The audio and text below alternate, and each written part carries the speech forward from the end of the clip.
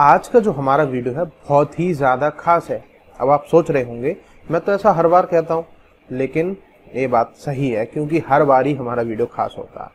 तो आज जो हम रिएक्ट करेंगे, वो आपको मालूम है, इंजीनियर मोहम्मद अली मिर्ज़ा जी का वीडियो है, उस पर हम रिएक्ट करने वाले हैं। वीडियो का नाम है, क्या नमाज़ में सिर्फ़ फ़र्ज़ पढ़ लेना ही काफ़ी है? इसके बारे में हम जानेंगे, आखिर पूरी बात क्या है, वो तो इंजीनियर साहब बताएँगे। और आप अगर इस वीडियो को पहले देख चुके हैं तो बहुत ही ज़्यादा अच्छी बात है, क्योंकि जो पॉइंट्स क्लियर नहीं हुए हैं, वो इस वाली वीडियो में क्लियर हो जाएँगे।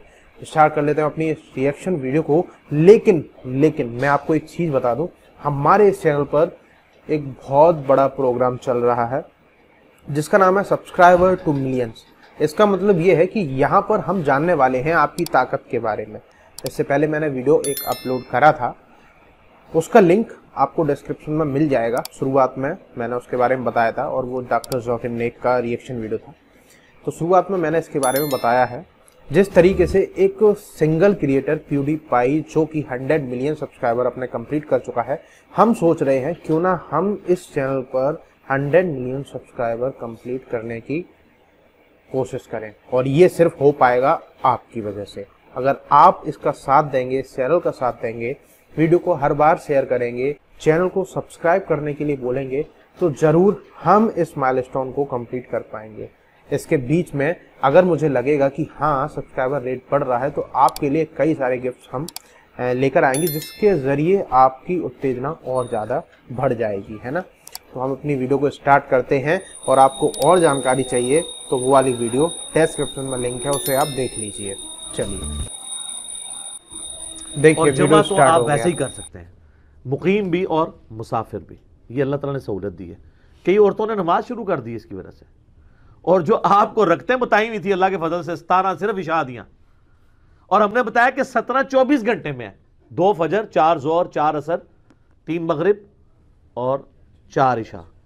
बाकी वितर हो या सुन्नत मौकदा हो जितना गुड़ डालें उतना मीठे हम तो पढ़ते हैं। लेकिन ये ऑब्लिगेटरी नहीं है। और जिसको ये बात समझना है ना उसके बाद उसके लिए हमारे पास इल्मी फकियाँ भी हैं। फ़ौर समझ आएगी। अच्छा आप ये बताइए कि नबी इस्लाम रमज़ान के अलावा कितने नफली रोज़े रखते थे हर महीने? एटलीस्ट ग्यारह रोज़े रखते थे। ओहो। तीन अयाम बीस के चाँद की तेरह चौदह पंद्रह।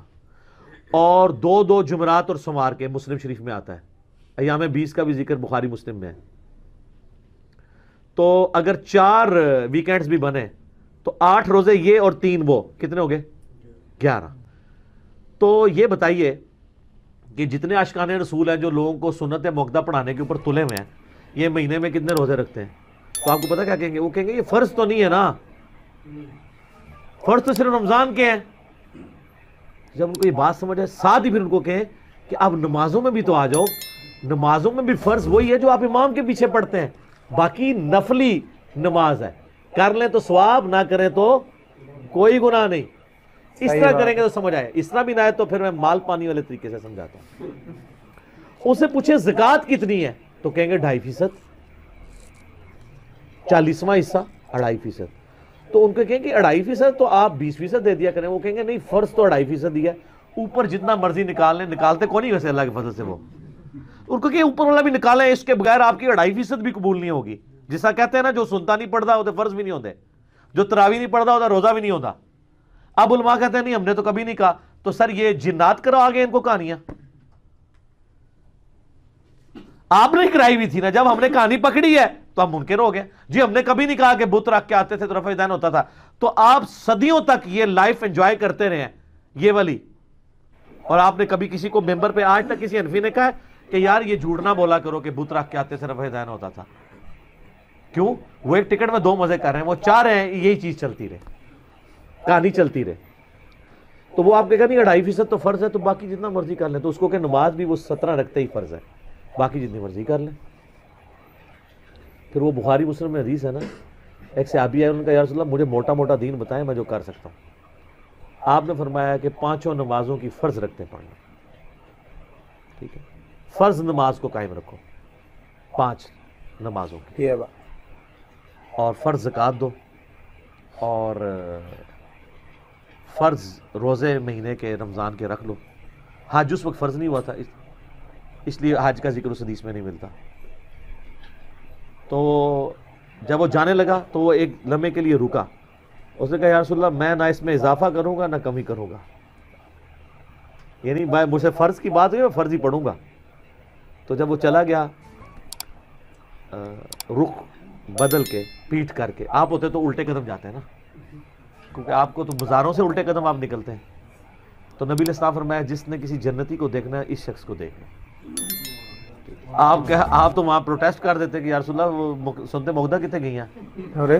तो इशाद इस तारा नकाता कितने गई इन्होंने दीन के साथ जो किया है ना खिलवाड़ उसका नुकसान ये हुआ है कि लोग नमाज़ ही छोड़ गए। एक जुल्म किया सुन्नतों और नवाफिल पे ज़ोर देकर, और दूसरा नमाज़ जमा करने की जो फैसिलिटी थी, ये छीनी अब दफातर में, अब मसलन मैं प्राइम मिनिस्टर की बात करता हूँ। प्राइम मिनिस्टर ऑलमोस्ट कम अज कम पंद्रह घंटे रोज़ाना अपने ऑफ़िस को टाइम दे रहे हैं। आउटपुट कुछ निकल रही है नहीं, वो अब अवलादा मामला है। लेकिन बेचारा टाइम तो दे रहा है ना, कोशिश तो कर रहा है। अब प्राइम मिनिस्टर ने जो है, वो रात को खड़े होकर नवाफिल नहीं पढ़ रहे। और उसके लिए सुनते बोगदा पढ़ना भी ज़रूरी नहीं। बस दो फजर के फ़र्ज़ पढ़ ले, चार ज़ोर के और चार असर के, वो भी जमा कर ले। जो उसको मीटिंग में टाइम मिलते हैं, दस पंद्रह मिनट, उसमें ज़ोर असर कट्ठी पढ़ ले। और फिर जब घर वापस आए रात को आठ बजे, दस बजे, ग्यारह बजे, मगरबी शाह पढ़ ले। उस वो रोज़ाना जमा करे। मैंने बताया, सही बुखारी में मौजूद है, हज़रत उमर फारूक कहते हैं बाज़ात मैं अपना जंगी प्लान नमाज़ की हालत में करता हूँ, मेरे पास इतना टाइम ही नहीं होता। सारे पूरी दुनिया को देख रहे थे, सर। सुपर पावर थे। और हर वक्त जो है वो उस वक्त ना आपको पता इंटरनेट था, ना यूट्यूब था, ना वायरलेस सिस्टम था, ना कोई मोबाइल फ़ोन थे कि हर वक्त कोई एजेंट आपको बात बताएँ। वो तो बड़ी देर से खबर आती तो प्लानिंग्स में ही मामला चलते थे। तो ऐसे लोगों को इसी तरीके से जो लोग दावत और तबलीग का काम कर रहे हैं, चाहे वो यूट्यूब पे बैठ के काम कर रहे हैं चाहे सीना बसीना दावत कर रहे हैं फेसबुक के ज़रिए कर रहे हैं व्हाट्सएप के ज़रिए उनके लिए ये काम ज़्यादा इंपॉर्टेंट है नवाफिल पढ़ने से।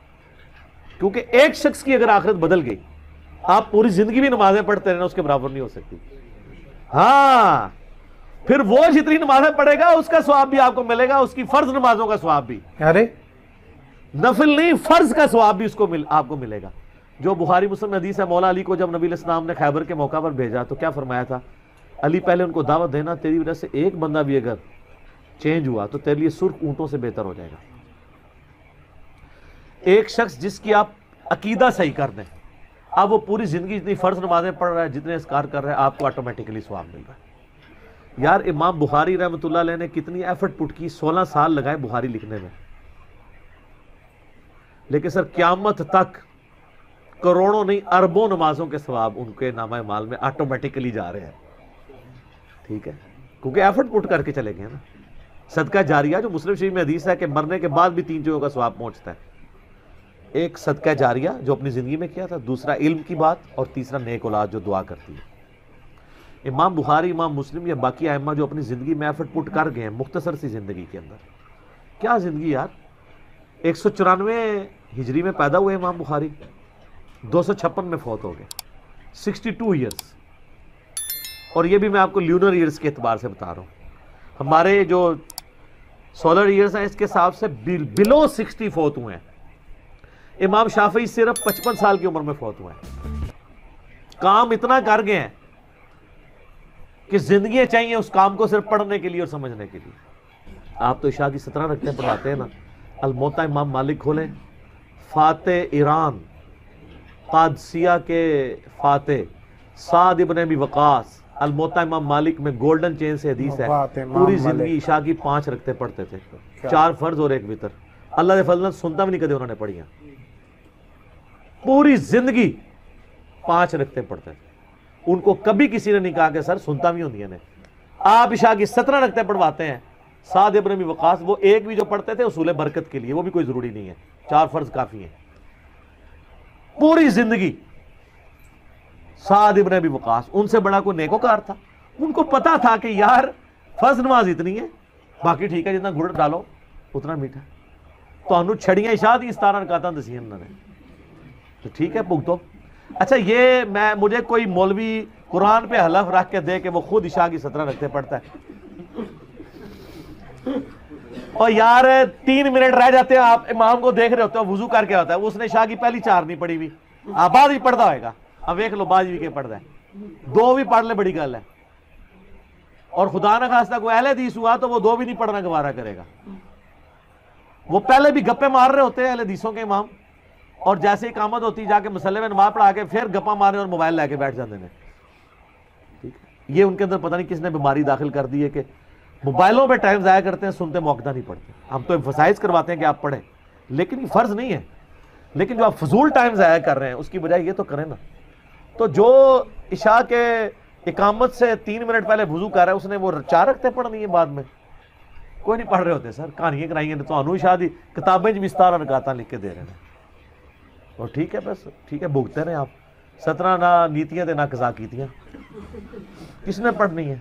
हमने तो क्या नमाजें जमा भी होंगी सिर्फ़ फ़र्ज़ पढ़े कितने लोगों ने नमाजें शुरू कर दी। मैं पर्सनली कई लोगों को जानता हूँ वो कहते हैं नहीं हमें जब से पता चला है ना कि फ़र्ज़ पढ़ लो काफ़ी है तो नमाज़ बड़ी आसान हो गई है।